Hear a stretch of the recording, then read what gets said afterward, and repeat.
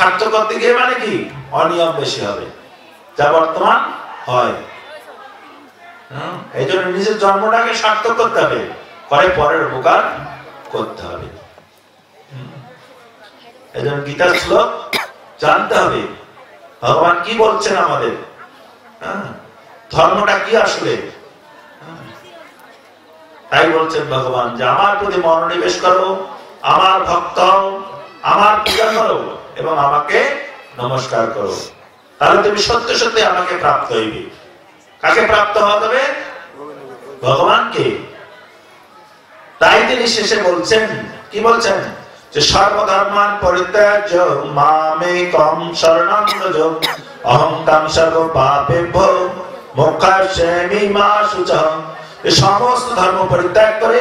একমাত্র আমার শরণাপন্ন হোক তাহলে আমি তোমাকে সমস্ত পাপ থেকে মুক্ত করবো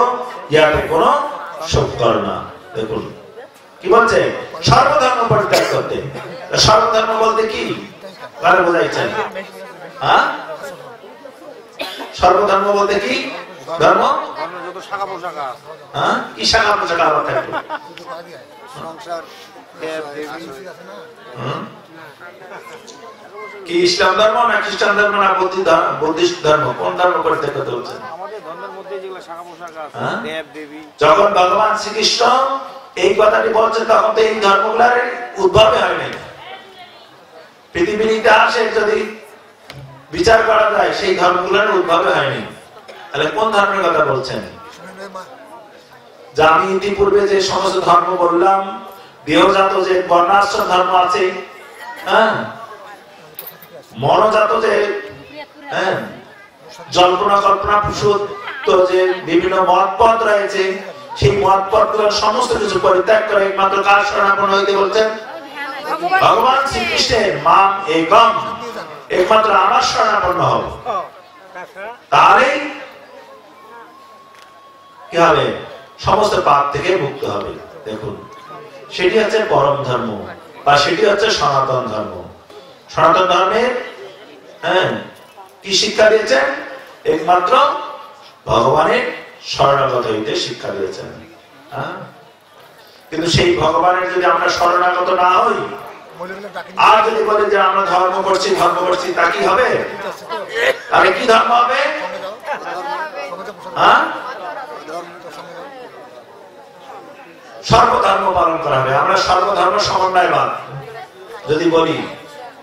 মানে কি যারা সর্বধর্ম সমন্বয় করতে চায় মানে কোন ধর্মই করা যাবে না হ্যাঁ শুধু ধর্মের দোহাই দাও দিয়ে যত রকমের অধর্ম করো অধর্মই করছে তাই আজকে কি হচ্ছে অশান্তি ধর্ম করেও কি হচ্ছে অশান্তি কেন প্রকৃত ধর্ম করা হচ্ছে না যদি প্রকৃত ধর্ম হয় তাহলে যে চিন্ময় আত্মা প্রতিটা জীবের মধ্যে আছে তাহলে প্রতিটা জীবকে কি হিংসা করবে কেউ সেই দৃষ্টিতে করতে পারে না ধার্মিকেরা কিন্তু কি করছে দেহগত ভাবে দর্শন করছে প্রতিটা জীব কে উনি অমুক সম্প্রদায় উনি অমুক সম্প্রদায় উনি অমুক জাতি তমুক জাতি এই যে দৃষ্টিতে দর্শন করে কি হচ্ছে নিজের সম্প্রদায় বলার সময় মঞ্চে বলা হচ্ছে ভালো কিন্তু এখান থেকে যখনই যাওয়া হবে তখনই ফিরবে আলাদা পরিকল্পনা তাহলে কি শান্তি বিরাজ করবে হ্যাঁ শান্তি নেই এই জন্যই হ্যাঁ? যতই আমরা বলি আমরা এটা কেন বাস্তবে হ্যাঁ? বাস্তবতা নেই এই জন্য প্রকৃত ধর্ম হচ্ছে সনাতন ধর্ম সেটি যদি আমরা পালন করি তাহলে আমরা কি হব শান্তি লাভ করতে পারবো আজ কি খাচ্ছে এই সনাতন ধর্ম যে মূল শিক্ষা ভগবত গীতা ভাগবতম হ্যাঁ? যে শিক্ষা দেওয়া হয়েছে কি শিক্ষা দেওয়া শিক্ষা কার ভগবানের হওয়ার শিক্ষা দিয়েছেন সেই শিক্ষা দেওয়ার জন্য স্বয়ং ভগবান কলিযুগে অবতীর্ণ হয়েছেন কে চৈতন্য মহাপ্রভু রূপে এসেছেন তাই সেই চৈতন্য মহাপ্রভু হ্যাঁ। যদি আমরা ধর্ম করি প্রত্যেকে আর একটু বিষয় বাদ যদি আমরা প্রত্যেকে ধর্ম করি তার বাস্তব ভিত্তিটা কি ধর্মের চারটি স্তম্ভ রয়েছে আমরা ইতিপূর্বে আমরা সুন্দর সুন্দর বক্তাদের কাছ থেকে শুনেছি হ্যাঁ, সব ধর্মে একই কথা বলছে আসলে বাস্তবে একই কথা যেমন আমাদের সনাতন ধর্মের চারটি স্তম্ভ রয়েছে সেটি কিন্তু সকলেই পালন করছে যদি পালন করে থাকে বাস্তবে করছে সত্য দয়া শৌচ তপ এই চারটি হচ্ছে স্তম্ভ দয়া শৌচ হ্যাঁ সত্য তপ পূর্ববর্তী বক্তারা কিন্তু সবাই বলে গেছেন সত্যবাদী হইতে হ্যাঁ, হ্যাঁ, দয়াবান করুণা পরায়ণ হইতে সকলের প্রতি হ্যাঁ। বলছেন কিনা এইগুলো যদি আমরা বাস্তবে গুণটা অর্জন করি হ্যাঁ কি করে আমাদের সেই ফুলগুলো আসবে একটু আমরা আলোকপাত করতে পারি পারি কি না পোশাক পাবে না এখন কারা কারা শুনতে চান সবাই হ্যাঁ? শুনতে চান এই যে আমরা কথা বলছি দয়া হ্যাঁ শৌচ হ্যাঁ কি আছে সত্য তপ এই চারটি গুণ এই চারটি স্তম্ভ হচ্ছে সনাতন ধর্মের এই খুঁটি যদি আমরা ধার্মিক হইতে চাই সনাতন ধর্মাবলম্বী হইতে চাই তাহলে চারটি গুণ অবশ্যই থাকতে হবে এই চারটি গুণ থেকে কি হবে আরো অন্যান্য গুণের বিকাশ হবে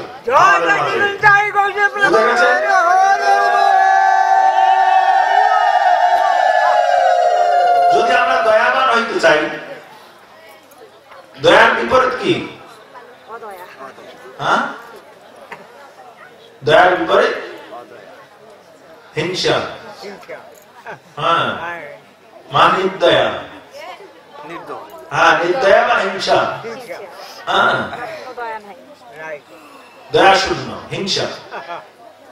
হ্যাঁ, হিংসা কাজ কি পরিহার করতে হবে হিংসা কাজ পরিহার করলে হিংসার ভিত্তি তাহলে তো দয়া আসবে আর হিংসা ভিত্তি করি যদি আর দয়ার কথা বলি মুখে তাহলে আসবে কি সেটা বাস্তবায়ন হবে হ্যাঁ? এর জন্য কি করা উচিত আমাদের শাস্ত্রে বলা হয়েছে জীব হত্যা থেকে মুক্ত থাকতে এই জন্য ভক্তরা কি করেন আমিষ গ্রহণ করেন না আমিষ গ্রহণ করলে কি করতে হবে জীব হত্যা করতে হবে হত্যা করতে হবে কিনা হ্যাঁ? আর জীব হত্যা করতে গেলে হিংসা করতে হবে আর হিংসা করতে দয়া গুণ থাকবে হ্যাঁ, থাকবে না তাহলে আমরা ইতিপূর্বে কি দেখেছি ভগবত ভগবান বলছেন অনেকে বলছে যে মানুষদের হত্যা করা মানুষকে ভালোবাসো মানুষকে ভালোবাসো কিন্তু মনুষ্যতর জীব যারা আছে তারা কি তাদের ভালোবাসতে হবে না হ্যাঁ কি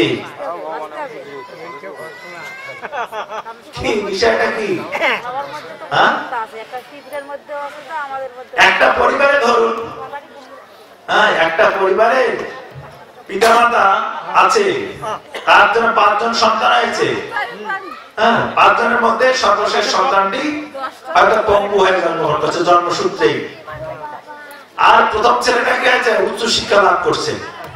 পরে ভালো চাকরি করছেন প্রতিষ্ঠিত হয়েছেন মাতা যদি না থাকে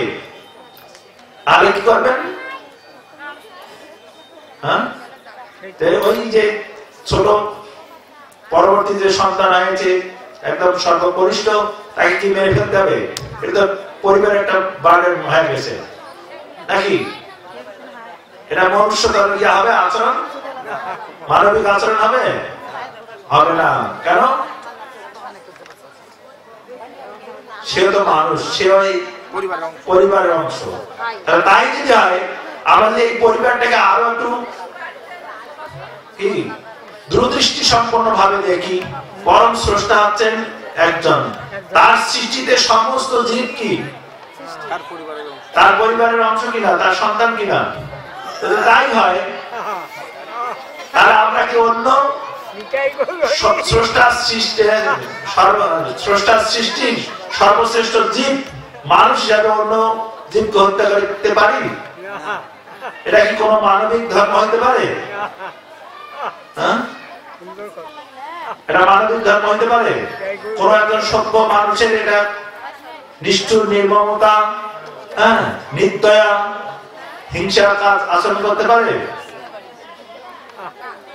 হ্যাঁ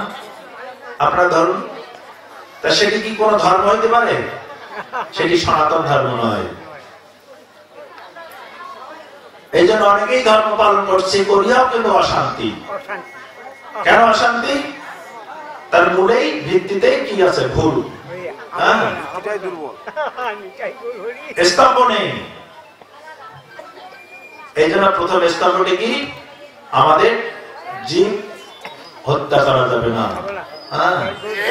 হিংসা করা যাবে না তাহলে আমাদের মধ্যে কি আসবে দয়া গুণ আসবে তখন আমরা সনাতনী হিসাবে নিজেকে হ্যাঁ, পরিচয় দিতে সক্ষম হব তা আসলে আমি সনাতনী হ্যাঁ আমি করুণাপরায়ণ দয়া আছে আমার মধ্যে এই গুণটি আছে অন্যকে আমি ভালোবাসতে পারি অন্যের আমি হ্যাঁ, ভালোবাসা দিতে পারি কারো কোনো আমার দ্বারা ক্ষতি হবে না এটি দৃঢ়ভাবে বলা যেতে পারে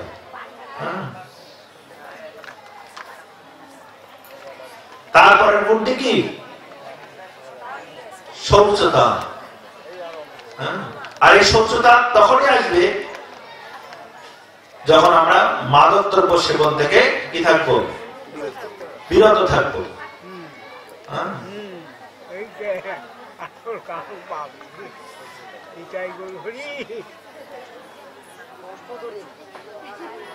এভাবে চারটি গুণ আমাদের মধ্যে যখন বর্তাবে হ্যাঁ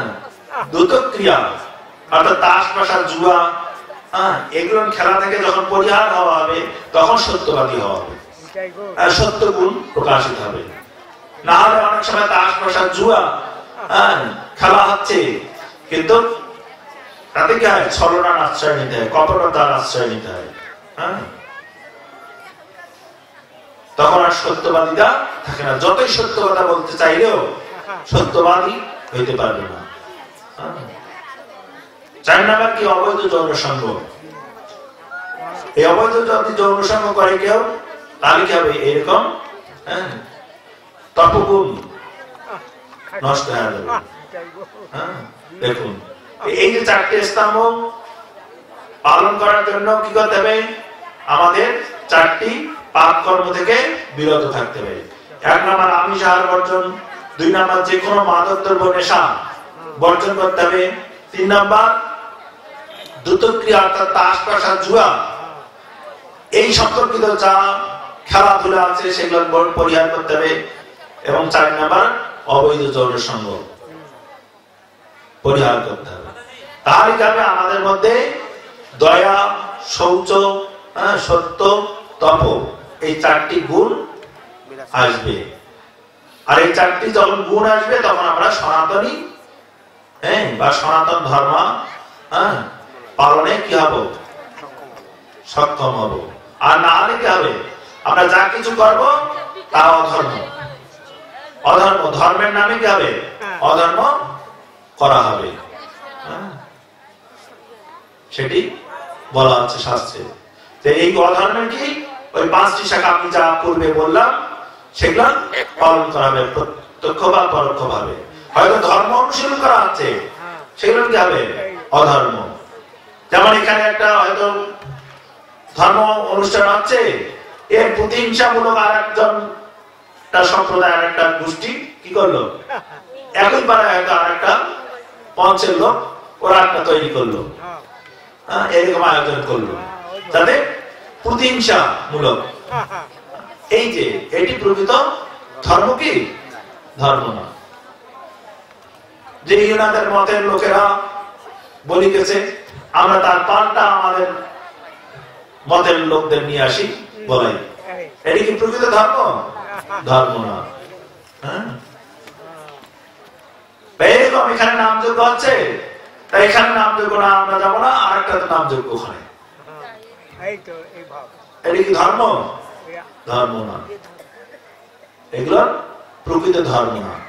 যথার্থ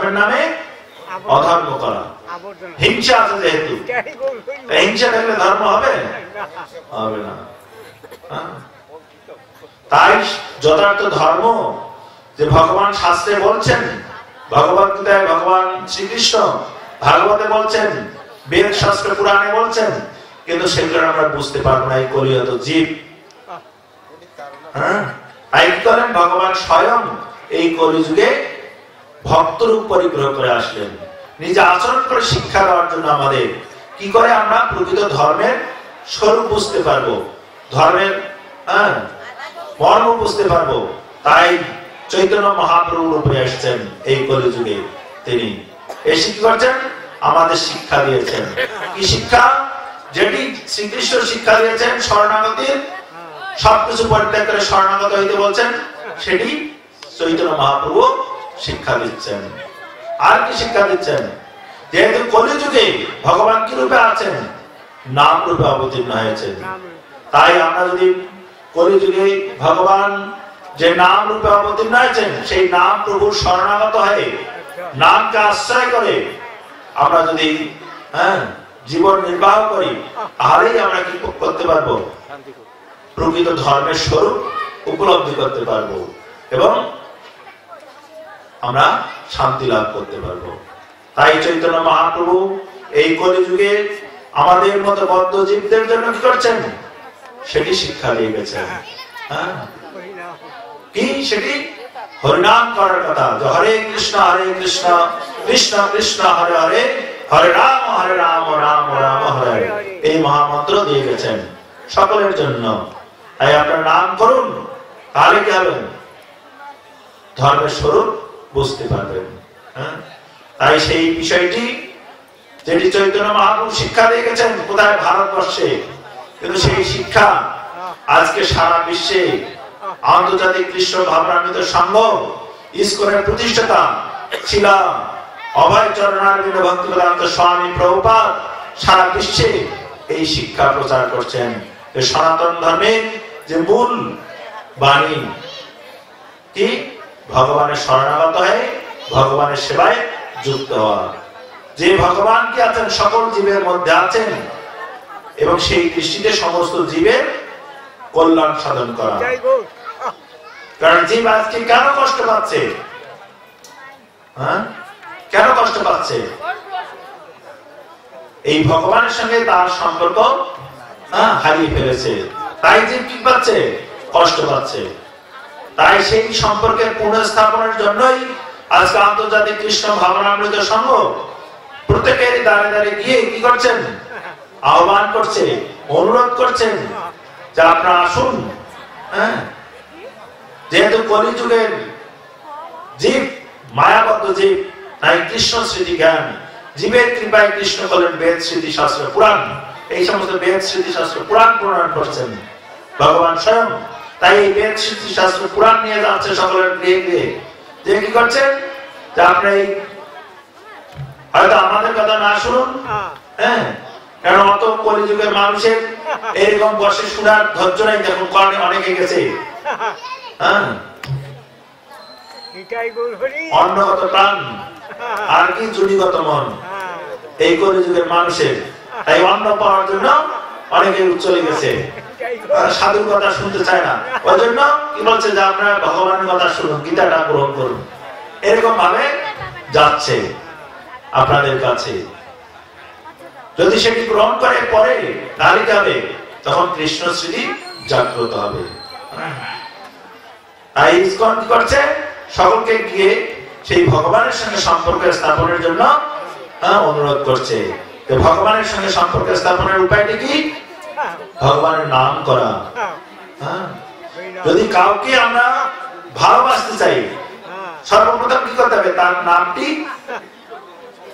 আমাদের পছন্দ কিনা নামটি পছন্দ হয় তাহলে নামটির সঙ্গে কি হবে ব্যক্তিরও কি গুণের সঙ্গে পরিচয় হইতে হবে হইতে হবে কিনা তাহলে তখন তার সঙ্গে সম্পর্কটা ভালো হবে হবে কিনা প্রথমে যদি নামটি পছন্দ না হয় তাহলে তার সঙ্গে সম্পর্ক হবে হ্যাঁ? হবে না তেমনই আমাদের ভগবানের সঙ্গে যদি সম্পর্ক স্থাপন করতে চাই তাহলে কি করতে হবে নাম করতে হবে তোমার সেই নামটি কি হরে কৃষ্ণ হরে কৃষ্ণ কৃষ্ণ কৃষ্ণ হরে হরে হরে রাম হরে রাম রাম রাম এই মহামন্ত্র কীর্তন জপ করতে হবে তাহলে ভগবানের সঙ্গে আমরা হ্যাঁ, সম্পর্ক স্থাপন করতে পারবো আর যদি ভগবানের সঙ্গে যদি একবার সম্পর্ক হয়ে যায় তাহলে আমাদের কি আনন্দ হবে হ্যাঁ, তখন আমরা আনন্দ লাভ করতে পারবো আর তাছাড়া আমাদের কি হবে দুঃখ কৃষ্ণ ভুলিয়া যদি আমরা ছুটতে থাকি বহির্মুখ হয় তাহলে কি হবে কোনোদিন আমরা আনন্দ পেতে পারবো না তাই সেই বহির্মুখকে কি করছেন ইস্কন সেই অন্তর্মুখী করার জন্য ভগবানের দিকে নিয়ে আসার জন্যই যেটি ভগবত গীতায় ভগবান শিক্ষা দিয়েছেন মনমানা ভগবত ভক্ত মত মান নমস্কুরু সেই শিক্ষায় কি করছেন ইস্কন দিচ্ছে সকলকে তা আপনারা ভগবানের চিন্তা করুন কৃষ্ণ ভাবনাময় হন কৃষ্ণের ভক্ত হন কৃষ্ণের পূজা করুন কৃষ্ণকে প্রাণ নিবেদন করুন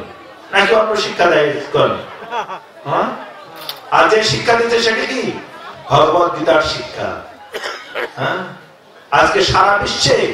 এই ভগবত গীতার শিক্ষায় কি হয়েছে আলোড়িত হয়েছে যার মাধ্যমে অসংখ্য যারা হ্যাঁ,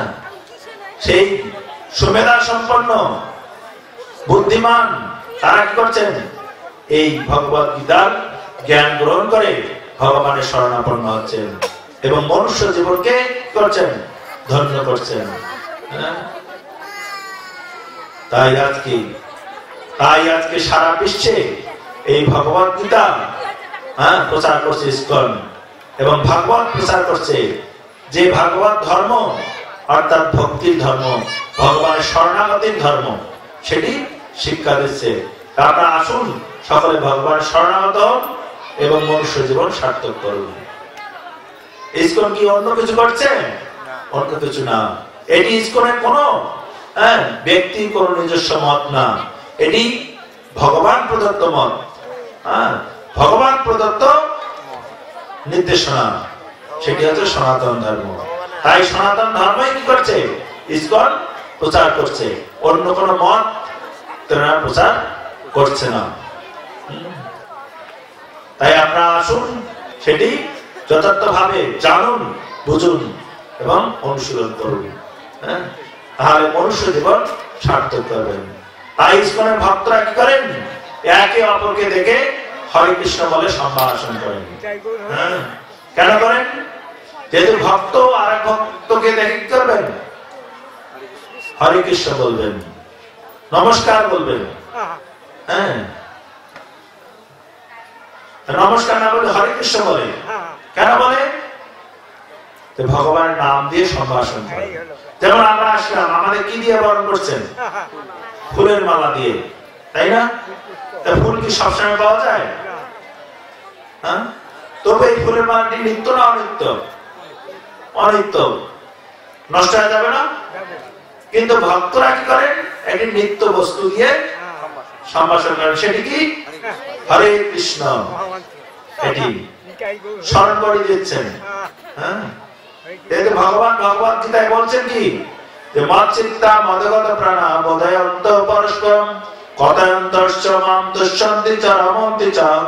আমার ভক্ত পরস্পর পরস্পর করেন আমার কথা বলেন আমার কথা বলে পরম সন্তোষ এবং আনন্দ লাভ করেন তাই ভক্তরা কি করেন হরে কৃষ্ণ প্রভু ধন্যবাদ আরেকজন কি করেন প্রত্যুত্তরে হরে কৃষ্ণ দেখুন আর মানে পরস্পর পরস্পর কি বলবেন আমার কথা বলবেন কার কথা হ্যাঁ শ্রীকৃষ্ণের কথা তা ভক্তরা বলে হ্যাঁ বলে এটা কি কোন শাস্ত্র বিরুদ্ধ হ্যাঁ?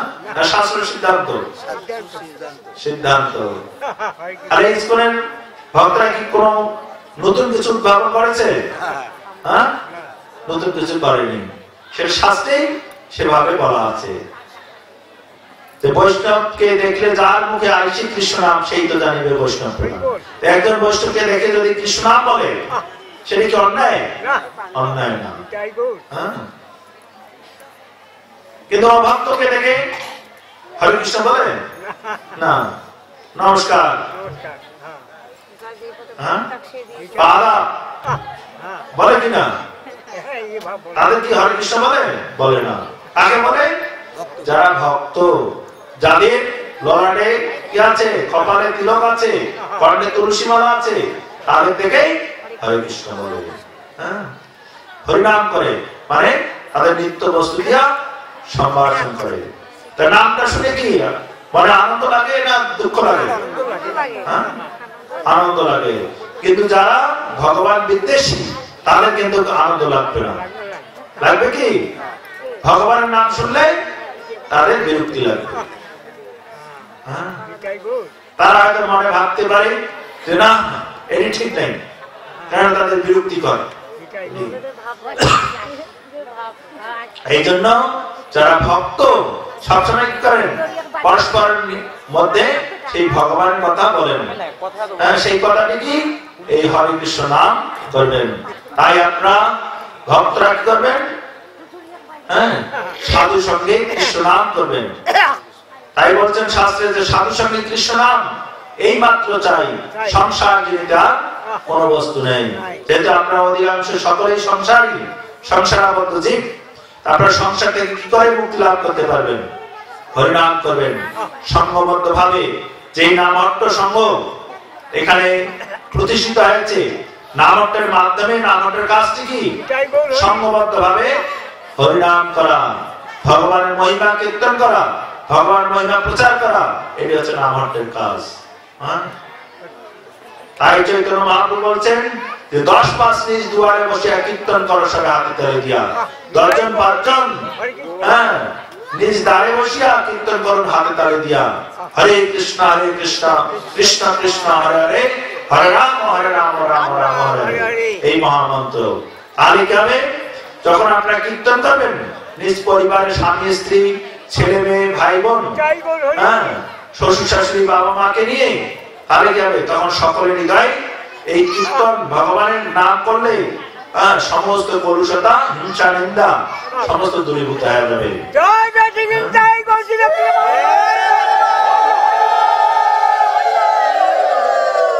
আজকে যদিও আমরা কি দেখা যায় সুখী মানুষের অভাব নেই আছে কিনা সুখী মানুষ হ্যাঁ কিন্তু সুখ সুখী মানুষ হলেও কিন্তু তার মধ্যে শান্তি নাও থাকতে পারে হ্যাঁ সুখী মানুষ দূর থেকে দেখা যাচ্ছে অনেক সুখী পোশাক আশা গাড়ি বাড়ি কিছুতে সুখী সুখী না টাকা পয়সার অভাব নাই মানে সুখী কিন্তু সুখ আছে দেখতে পোশাক আশা চাল চলনে কিন্তু শান্তি নেই অর্থাৎ মনের মধ্যে শান্তি নেই স্ত্রীর সঙ্গে ঝগড়া হ্যাঁ? ভাইয়ের সঙ্গে ঝগড়া হ্যাঁ, ছেলের সঙ্গে বলতেছিলাম হয় কিনা এরকম পরিবারে শান্তি আছে সুখটা কিসের সুখটা আছে শরীরের শান্তিটা আছে মনের হ্যাঁ বিষয় মনত কিন্তু শান্তি নেই এইটা কিন্তু বাইরের লোক বুঝতে পারছে না ভেতরে কি আছে হ্যাঁ ভেতরে কি আছে সেটা বুঝতে পারতেছে না আরে কি মনে হচ্ছে না সুখী খুব লোকটা খুব শান্তিতে আছে কিন্তু আছে আসলে কি শান্তিতে আছে যদি বলা যায় আপনি কি শান্তি